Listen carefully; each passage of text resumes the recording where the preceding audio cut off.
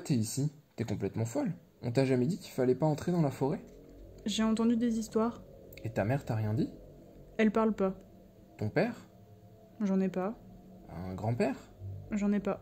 Une grand-mère? Une mère grand. Une mère grand?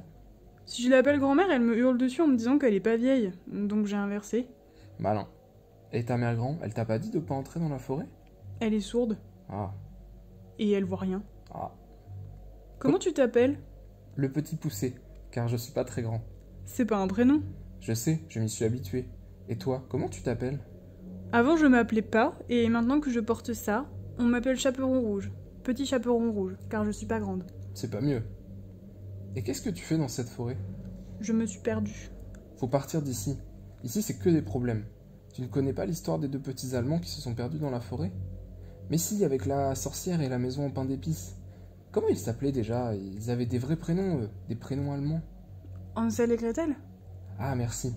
Heureusement, ils ont brûlé la sorcière, mais ils étaient à deux doigts de se faire bouffer. Et tout ça dans la forêt. Faut pas y aller dans la forêt, c'est des problèmes la forêt, beaucoup de problèmes.